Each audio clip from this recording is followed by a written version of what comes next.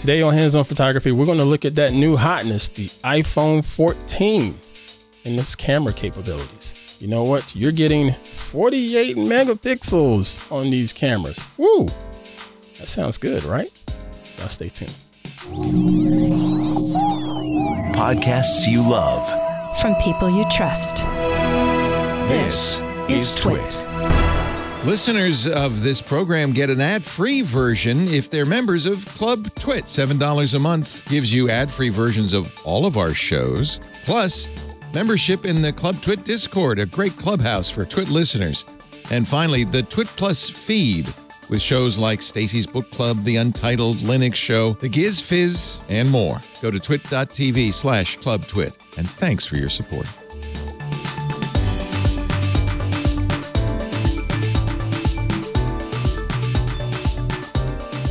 What is happening, everybody? I'm Ant Pruitt, and this is Hands On Photography here on Twit TV. Hey, I hope y'all are doing well. I am unbelievable as always. I love to sit down with you fine folks each and every Thursday to share different tips and tricks that are going to help make you a better photographer as well as a better post processor. And from time to time, I actually like to sit down and go through some of your feedback. Yes, you send in emails and social media posts and all that good stuff uh, just sharing your feedback, sharing your images. And uh, this week, that's what we're going to get into a bit of feedback that I got from one of our loyal listeners. And I thought that, uh, yeah, let's share that because it may be beneficial for everybody else here in the hands on photography community. So, without further ado, let's go ahead and get started with this week's episode. So, allow me to switch my screen here and take a look at this bit of feedback. All right. This comes from John. It says, Hi, John here, a Club Twit slash Discord member. Woo! First off, hey, hold up, Mr. John. Look here. Let me say thank you to you for being a Club Twit member. Appreciate that support. Really do. Okay, back to the email. it says, I'm currently in New Orleans. I was able to get my new iPhone 14 Pro Max. Oh, bragging, huh? Good for you. Nice. Uh, got his iPhone 14 Pro Max last Friday on day one by going to my local Apple store. I just wanted to show three pics of the Mississippi River. One is at RAW 48 megapixels, one is at RAW 12 megapixels, and the other is a panoramic shot. Zoom all the way in on all three shots, okay? And the message continues No, when you zoom in all the way, none of the three shots are going to be rock solid clear, okay? Fair enough. But consider how far you are zooming in and consider what you can see. Fair enough. That's the real amazing thing, especially zoom to the left side of the panel shot and look for the American flag. You may show and use my pics. These have not been touched up. Also, in the two normal pics, zoom in on the name on the boat on the other side of the river. I think either way, just a little further away, you'll see how much better the 48 megapixel sensor and lens is. And look at the EXIF data. I know what lens I'm shooting with. Sign John Gerard. All right, so hmm, iPhone 14. Boy, that's the new hotness here in the smartphone market. And by golly, yeah, they have earned it. Apple tends to do an amazing job with this iPhone hardware. Uh, I am clearly on record with stating, you know what, I do not like iOS. Never have. I don't know if I ever will. Um, I haven't tried out this latest version of iOS. I believe it's iOS 16 right now as at the time of recording this. Uh, we'll see. Maybe one day I'll get to try it out. But previous iterations of iOS have not been my jam. But from a hardware perspective, I've always really enjoyed and just dig the the Apple hardware. I love um I love the the iPhones, I love the MacBooks and just they're good. They're rock solid and really just premium devices. I get that. But um, I could never really get it together with the software working up with the hardware. But anyway, so yeah, the new iPhone 14 is boasting, as usual, a much improved camera on the smartphones because, hey, that's why people buy phones now. They never really buy phones to use them as a telephone. They buy them for messaging and they buy them for the cameras. That's that's the thing the the problem quotes problem that I have with the iPhone As a matter of fact, with not only the iPhone and even my Pixel 6 Pro, is the marketing behind how these cameras are um, presented to the masses. Uh, Apple has said this is a 48 megapixel camera. Let me say that again with quotes 48 megapixel camera. Um, and yeah, I guess it is in theory, but it's there's a lot going on when it comes to the smartphone cameras versus the cameras that you'll use, uh, such as the DSLR that's back behind me, that's on a APS-C sensor or full frame sensor, or a heck, even a medium format. Everything is going to be different when it comes to the math to figure out those megapixels.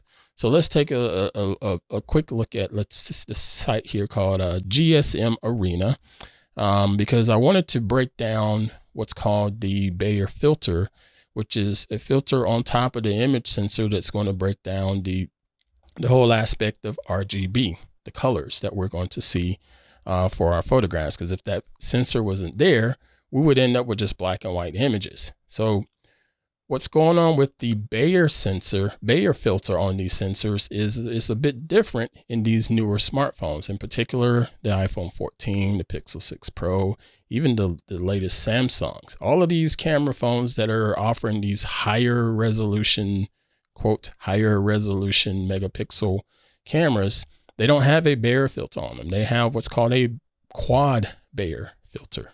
So what's the difference on that? I'm going to try to keep this brief and not too technical, but when you're looking at a Bayer filter, you have the RGB um, pixels there, and you get two pixels for green because eyes are going to see green, are more sensitive to green, and you're going to get one pixel for red and one pixel for blue. So that's a total of four pixels. Okay. Now on a quad Bayer sensor, you're going to get instead of one pixel for red, you're going to get four. Instead of one for blue, you're going to get four. Instead of one for green or for two for green, you're going to get eight. So it's it's quadrupling it, making it more, giving you a, a little bit more photo sites uh, to work with when it comes to capturing your images. The problem, okay, so let's look at this picture. The problem is these actual sensors and the pixel sizes of these smartphone cameras have a typically a half inch sensor, and that's being very, very generous. Is usually a little bit smaller than that. That's not very big. So the pixels on side of that, on the inside of that, that sensor, they're going to be really dadgum small. Okay, so just think how much light can you really capture on a half inch of, of surface space? It's not not a lot. So you're going to see the manufacturers trying to do whatever they can to boost up the pixel density on these images to, to try to capture more for those low light scenarios. Hence why we have the quad Bayer and the pixel binning. So you're in, in theory, you're taking essentially a 12 megapixel sensor because that's pretty much about all you're going to get out of a half half inch sensor and turning it into a 48 because of the quad Bayer layer. And all of that sounds fine and dandy from a marketing standpoint because everybody says, Ooh, I got a 12 megapixel camera versus a 48 megapixel camera. Give me that 48 megapixel camera because it's bigger and better. It's not always the case. Okay.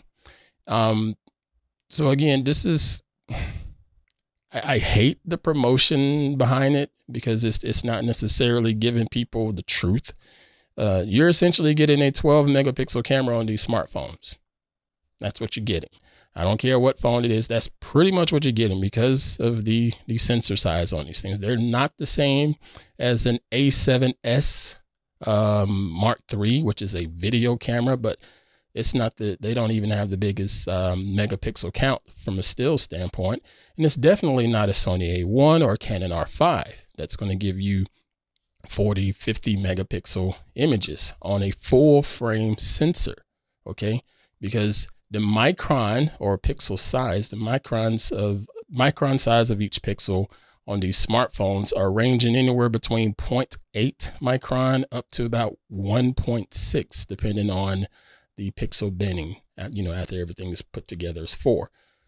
Compare that to a regular camera, you're going to get um, pixel pitch of roughly three microns, sometimes uh, almost five, depending on the camera. So a lot more light coming into the photo sites. Okay. All right. I'm done with that. I'll leave a link in the show notes that's further explaining the Bayer filter and and uh, the quad Bayer filter that's being used on these smartphones today. But I just wanted to get that out of the way because I think people are just being sold when they see those numbers from Google and Apple and Samsung. Um, but yeah, we have come a long way. So let's pull up his images here. I'm going to switch my screen. Got his images here. And actually, I have a couple images of mine. So these are my images from the Pixel 6 Pro. Yeah, I love this phone. It's, it's, it's mighty fine hardware. And this is the standard 1x zoom. This is 2x. This is 4x. And this is, I believe this was 10x. And granted, I know what I'm doing with a with a camera. You know, I know how to lock focus and, and lock in exposure, but you notice what's happening here is this isn't necessarily giving me all of those juicy megapixels that the camera allegedly has. Okay. Notice how much softer this image has gotten. Uh, the details are sort of hit or miss on it. And the computational photography will eventually kick in to make it look a little bit better, but these are raw files. So this is what I'm getting straight out of the camera, unprocessed.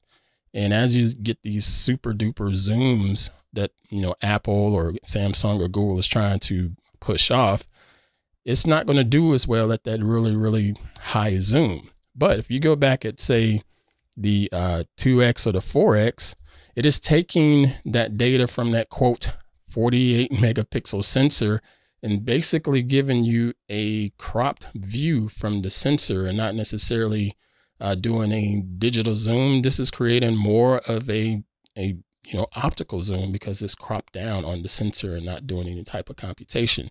So it is going to look a little bit sharper at those particular um, focal lengths. And I just wanted to show that because both Apple and and Google are doing the same daggum thing.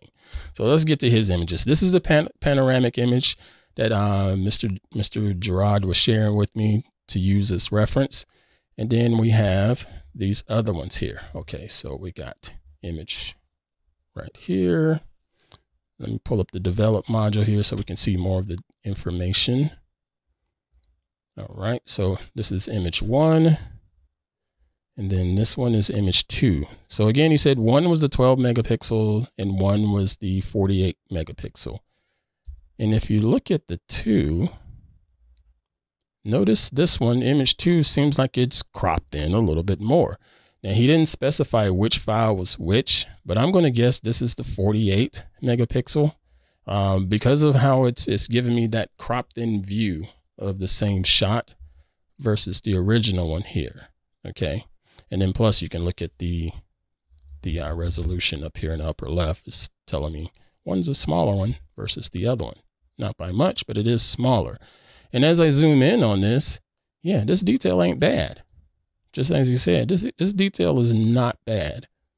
It ain't great, but it's not bad. Could this image be printed and, and put up on a wall somewhere? Yeah, it could. But so so could this one. This could be printed and put it up put up on a wall somewhere. Now, if you want a pixel peep, I don't recommend that because it's not going to look all that great. But up on a wall at a normal viewing distance, that's going to look totally fine. Now, this one, I, I, I played around with it because Lightroom has what they call an enhance AI algorithm in their software that basically will allow you to take your images and scale them up to a super resolution and this one did. This one scaled it up to a quote 48 megapixel image here. And yeah, it ain't that great.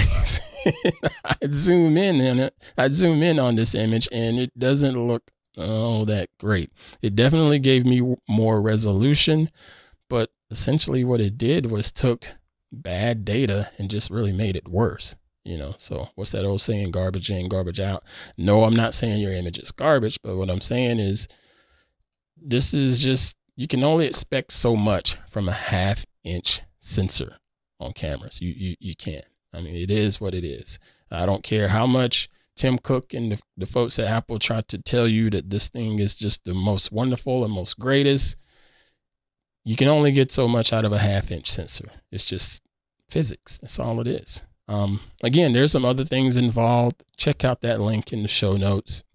Just walking you through the, the uh, information regarding the Bayer sensor because it's a lot of stuff. And then you have diffraction, and it, it's it's so much more. But in conclusion, is the iPhone camera pretty daggum good and badass? Yes, it is. Most people are going to be able to pick up that camera and just snap some pretty cool images that are going to be so great.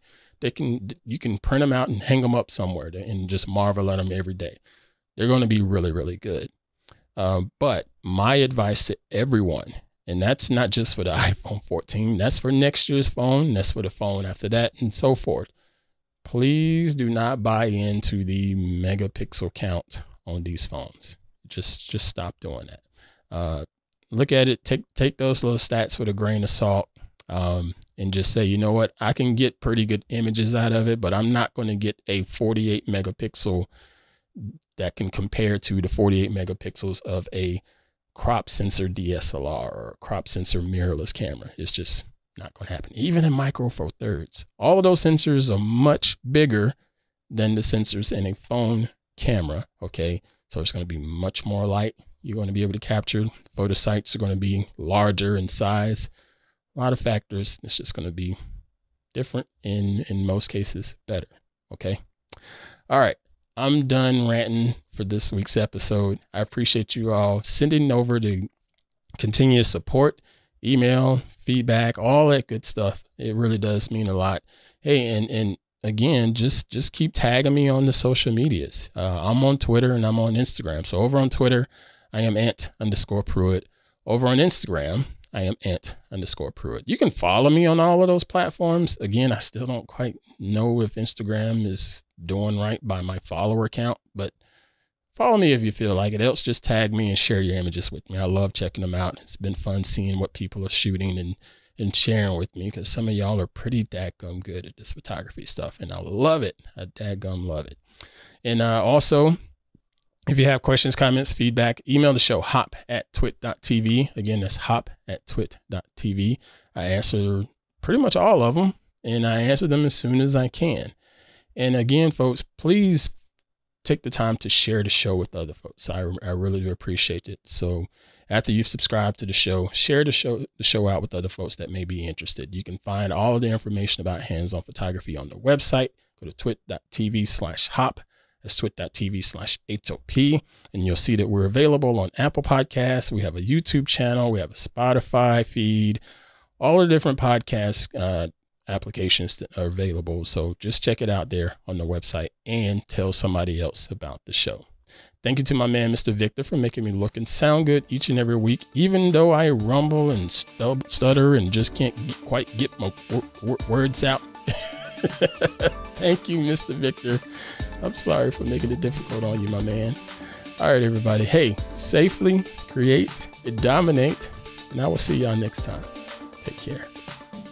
The world is changing rapidly. So rapidly, in fact, that it's hard to keep up. That's why Micah Sargent and I, Jason Howell, talk with the people making and breaking the tech news on Tech News Weekly every Thursday. They know these stories better than anyone, so why not get them to talk about it in their own words? Subscribe to Tech News Weekly, and you won't miss a beat every Thursday at twit.tv.